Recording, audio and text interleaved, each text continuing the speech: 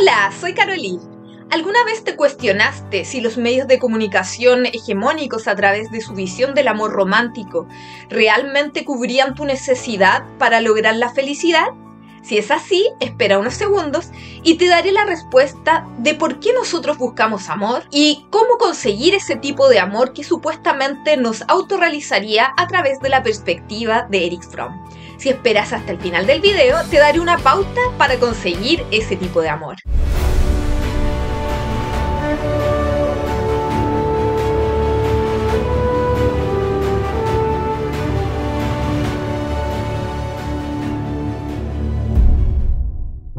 Plantea que la búsqueda de amor correspondería a una respuesta ante la sensación de aislamiento y de vulnerabilidad que tenemos como individuos. A través del amor nosotros generaríamos conexiones para poder superar esta sensación de desamparo que vivimos. Fromm también plantea el concepto del amor maduro, el cual serían individuos sanos y completos de por sí mismos, que irían más allá de los roles de género comúnmente asignados y que se conectarían a través de un proyecto trascendente de vida en común.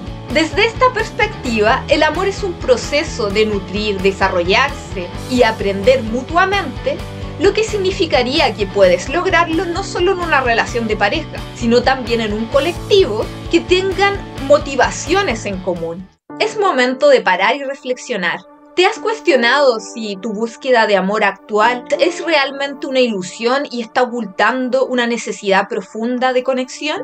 ¿Te has cuestionado si es que tus tipos de relación que estás formando se están basando más en una necesidad de llenar vacíos emocionales y no en conexiones genuinas? Y lo más importante, ¿te has cuestionado si la búsqueda de amor romántico es una construcción sociocultural que está limitando tus relaciones y quizás hay otra forma de amor que te llenaría de más plenitud? Si es así, es posible que haya sido influenciado negativamente por los modelos culturales del amor romántico y sus estereotipos de género, lo que probablemente esté limitando tu búsqueda del amor en generar relaciones significativas, auténticas, sanas, basadas en lo que es el crecimiento tanto personal como con los otros. El amor verdadero nos desafía a superar creencias limitantes que nos impiden alcanzar la felicidad por nosotros mismos. Para lograr el amor maduro, que es el que realmente nos enriquecería y que es el que menciona Eric Fromm, es necesario desarrollar un proyecto personal que eleve nuestro ser. Esto significa poder superar patrones de pensamiento negativo, de fortalecer nuestra autoestima. Ahora, ¿cómo podemos aplicar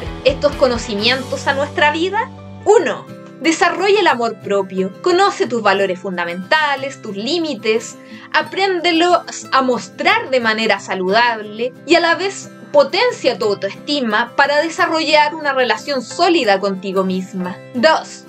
Supera tus patrones de pensamiento negativo, identifica tus creencias limitantes y desafíalas. Estas pueden estar limitando tu manera de amar y de ser amado. 3 Cultiva relaciones auténticas, busca conexiones genuinas, basadas en lo que es el desarrollo mutuo, en vez de buscar llenar tus vacíos o relaciones basadas en el amor romántico. Para lo anterior, es indispensable que desarrolles lo que es la escucha activa y la empatía, a la vez que siempre des tus puntos de vista de una manera respetuosa. 4.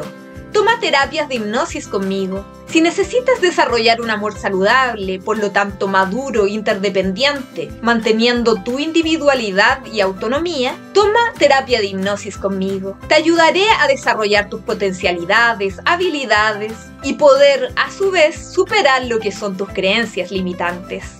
En una sociedad basada en el consumismo, el exitismo y la gratificación instantánea, el generar una conexión profunda con nosotros mismos y con los demás implica desafiar las construcciones socioculturales de lo que es el amor, el amor romántico, a la vez de superar sesgos mentales que pueden tanto estar limitándote consciente como inconscientemente. Al realizar esto, vas a conectar profundamente contigo misma y con los demás, generando relaciones más saludables. Si te interesa seguir reflexionando sobre el amor basado en lo que es el desarrollo personal y con los otros, conecta la campanita, pon un me gusta, deja un comentario si así lo deseas y nos veremos en una nueva lección. Te mando muchos besos, muchos cariños, muchos abrazos y nos vemos en un próximo video.